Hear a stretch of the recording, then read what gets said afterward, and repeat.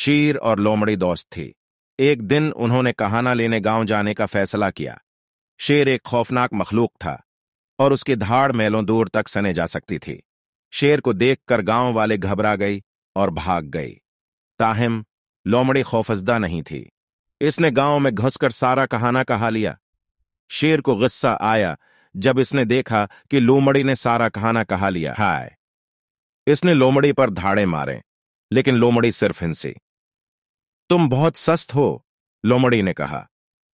मैं सारा खाना हासिल करने में कामयाब हो गया था, जबकि तुम गाँव वालों को डरा रही थी। शेर गुस्से में था, लेकिन वो जानता था कि लोमड़ी ठीक कह रही है। वो गाँव वालों को पकड़ने में बहुत सस्त और अनाड़ी था, लेकिन लोमड़ी तीज और चालाक थी। इस दिन शेर ने अपना अपना सबक सीख लिया, और वो फिर कभी लोमड़ी के बगैर गाँव नहीं गया।